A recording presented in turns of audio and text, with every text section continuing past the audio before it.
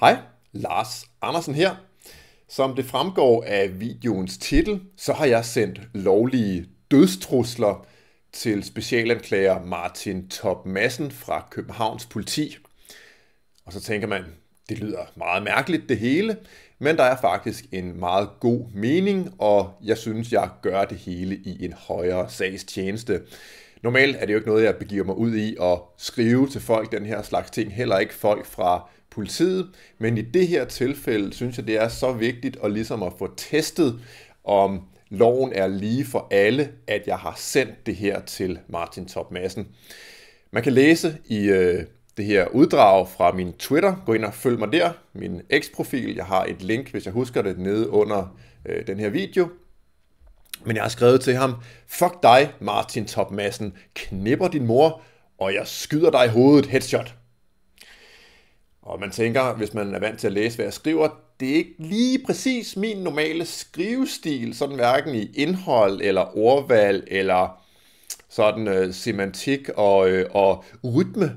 Øhm, men det, jeg har skrevet, øh, er jo noget, jeg har faktisk kopieret fra øh, en meddelelse, som Rasmus Paludan har fået, fordi hele sagen udspringer fra, at han har modtaget næsten samme besked og så har han så fået at vide af Københavns politi ved Martin Top Madsen, der er specialanklager derinde, at de ikke har tænkt sig at efterforske den her sag.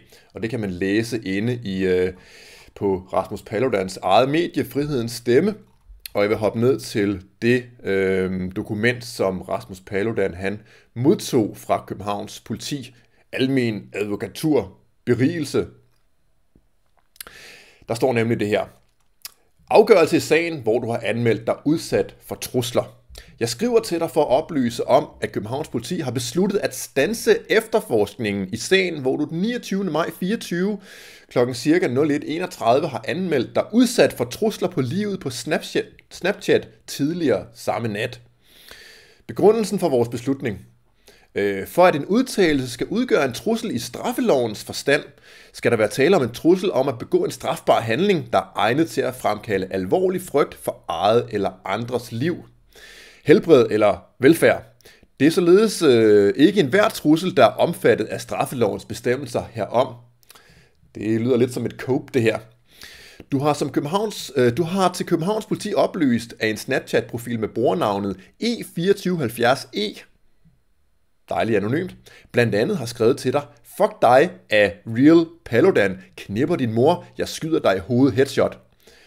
Og jeg har så øh, kopieret den her, øh, den her udtalelse, og jeg kunne simpelthen ikke få mig til at, øh, at aflevere den til Martin Top Madsen, som, som den er. Så jeg var nødt til lige at lave et stort F og sætte nogle kommaer ind og den slags ting, sådan at det bare var nogenlunde læseligt. Men ellers har jeg holdt mig til, kan man sige, essensen af, hvad, hvad jeg formoder er en, en dejlig beriger, der har skrevet det her til Rasmus Paludan på et tidspunkt øh, på Snapchat. Nå, de skriver så politiet videre. Vi har lagt vægt på, at selvom du måtte have oplevet situationen som truende og ubehagelig, da er udtalelsen under de samlede omstændigheder ikke af en sådan grovhed, at den er strafbar. Nå, det var da heldigt for politiet. Så behøver de ikke at koncentrere sig om at efterforske det og indhente IP-adresser og afhøre og sigte og anholde og alle de der ting, de kan bare sige, ja, de samlede omstændigheder gør, at den her person, der vil skyde dig i hovedet og har skrevet til dig på internettet, at han gerne vil det, øhm, det er bare ikke ulovligt. Vi behøver ikke gøre noget ved det, vi kan bare henlægge sagen. Vi har endvidere lagt vægt på, at de samlede omstændigheder for afsættelsen af truslen medfører, at den ikke er konkretiseret nok til at være strafbar, er det ikke den relativt strafbart at øh, skyde en person i hovedet og så skrive headshot bagefter? Jeg synes jeg, der er relativt konkret. Vi har derfor besluttet at indstille efterforskningen. Sagen kan genoptages, hvis der kommer nye oplysninger af væsentlig betydning. Givet hvad det er. Har du spørgsmål? Bla bla bla. Det der lovgrundlaget bla bla bla bla bla bla bla bla bla. Og så øh, står der hernede til sidst, med venlig hilsen, Martin Top Madsen, specialanklager.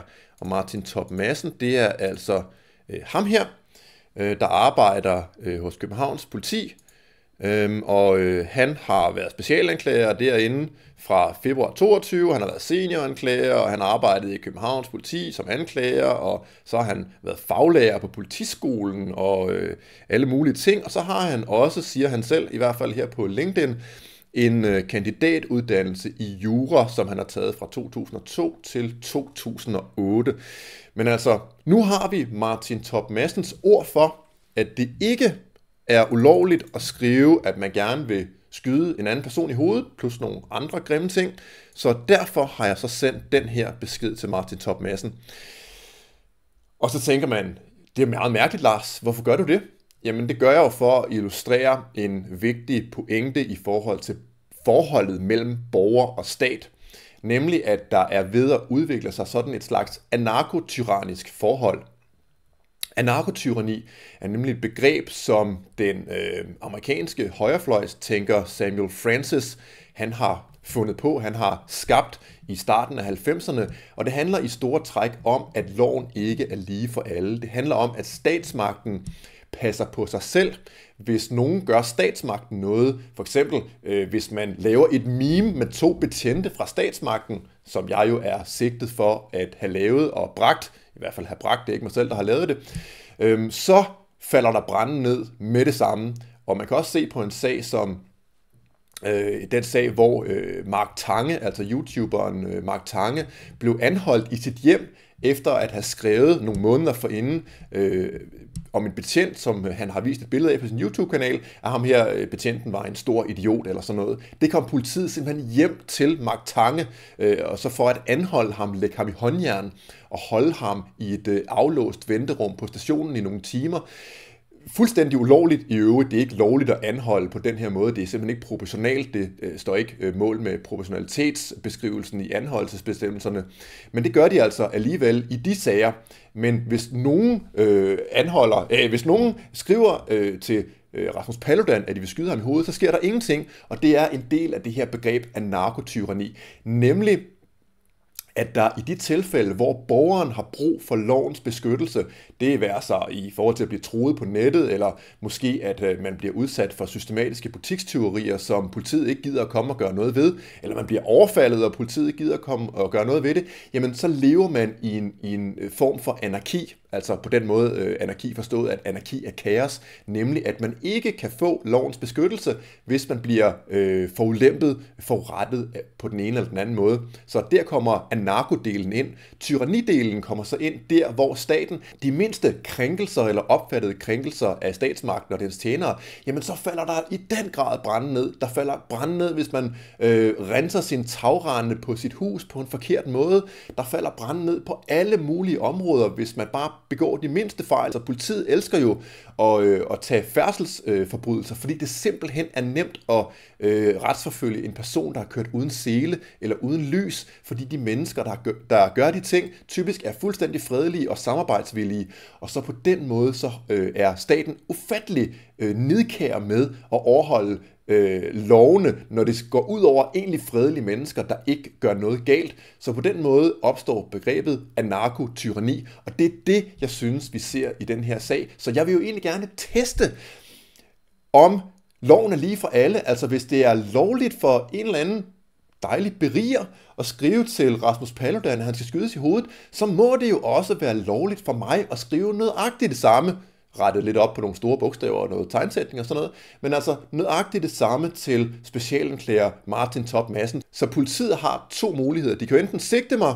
hvad jeg tror, de gør, fordi de aldrig vil acceptere, at nogen skriver det mindste til nogen af deres medlemmer, medlemmer af deres bande, og så på den måde illustrerer de så, at der overhovedet ikke er lighed for loven, og det vil jo så øh, være en dårlig mulighed. Den anden dårlige mulighed, politiet har, det er ikke at sigte mig, og så egentlig øh, indrømme, at det simpelthen bare nu er lovligt at skrive til folk, at man vil skyde dem i hovedet. Jeg regner med at blive sigtet, muligvis også anholdt, og min dør sparket ned, og alle den slags ting, fordi der er nemlig ikke lighed for loven. Det ved vi jo alle sammen godt.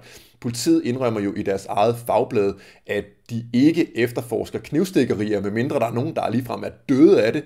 Og man kan se i rigtig mange tilfælde, øh, hvor borgerne har haft brug for politiets hjælp, og hvor politiet ikke har givet at dukke op til at hjælpe borgerne.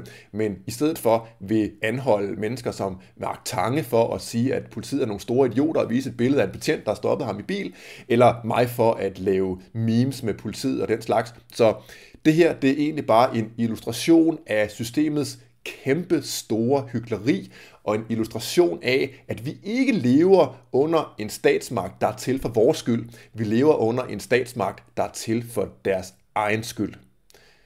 Det var min video for i dag. Måske den sidste video, inden jeg bliver anholdt for det her. Men tak for at se med, og I kan støtte min kanal og mit arbejde ved at gå ned i den pinned kommentar eller kommentaren under videoen her, og så kan I gå ind på Subscribestar og støtte mig med det, der svarer til en lille fadel om måneden. Så kan jeg vel få nogle poser Matador Mix i fængslet. Tak for at se med. Vi ses i næste video.